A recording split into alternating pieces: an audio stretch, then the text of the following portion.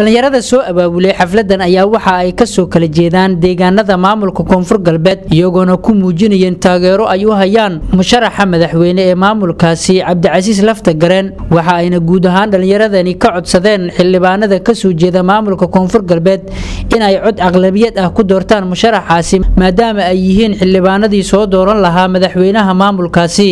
Qaar ka mid ah dhallinyarada oo isugu jira wiilal iyo gabdho ayaa madasha ka hadlay waxayna intooda badan rajo wanaagsan ka muujiyeen in doorashada maamulkaasi uu ku soo bixi doono cabdicasiis lafta gareen oo ah musharaxa ay maanta ku taageerayeen xafladaasi.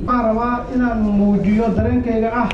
Aniga horta waxaan ahay muwaadin ka soo jeeda koonfur galbeed gaar ahaan gobolka baayb beedho ah.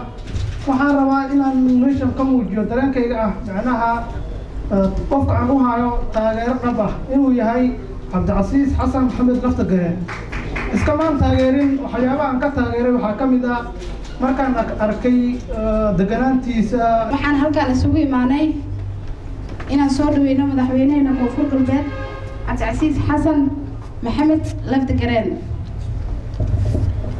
Annagana waxaa sharaf weyn inoo ah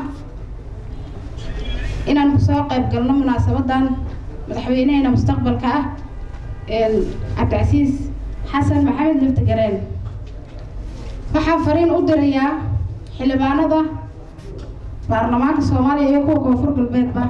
Inay u codayn doonaan madaxweyneheena koonfur galbeed cabdicasiis xasan maxamed lafta gareen cabdicasiis xasan maxamed lafta gareen waa nin u qalma xilka madaxweynenimo ee koonfur galbeed.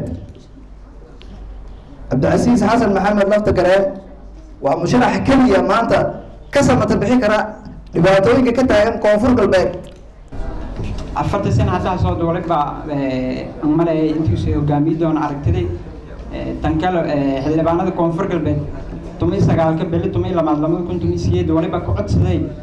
Oo fariin anka diray intii codayaan musharax madaxweyne cabdicasiis maxamed lafta gareen. Taasna waliba ka sababayay intiisu deegaanada koonfur galbeed. Samata biyi doona oo dhan walba haddii ay ahaata dhagaalo haddii ahaata fikir haddii ahaata aqoon walwalba is ka bedeli karo. Madaraay qofka muddo musharaxay qaymada wadali qaymaa jirta wadali qaymaa qofka meepa koo horta may banan aqoonaya lama dhalinyarada bulshada saaxiibliya saddex nanka iyo nan oo macnaha dadka iskimaamsnan dadka dhowr horta kabeeri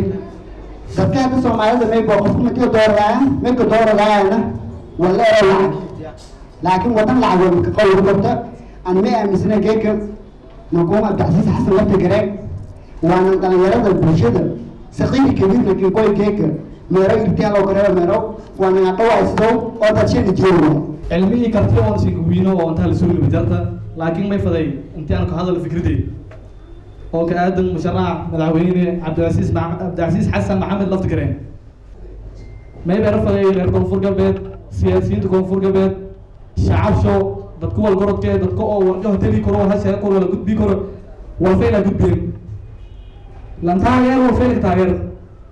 Laakiin may baa sayiri bilaanooba sigardaba laantusoo wadankii fowdalkiyo dad maamkiin wadamneeletaa koonfur galbeed dagaalna ay leeyihiin waxaa leeyahay goboladan koonfur galbeed soomaaliya waxay u baahan u baahan tahay musharax cabdicasiis xasan maxamed lafdi gareed inuu hogaamiyo oo u noqdo madaxweynaha koonfur galbeed soomaaliya. Marka xigta anigoo ka hadlaya dhalinyarada ka soo jeeda koonfur galbeed soomaaliya gaar ahaan gobolka shabeellada hoose.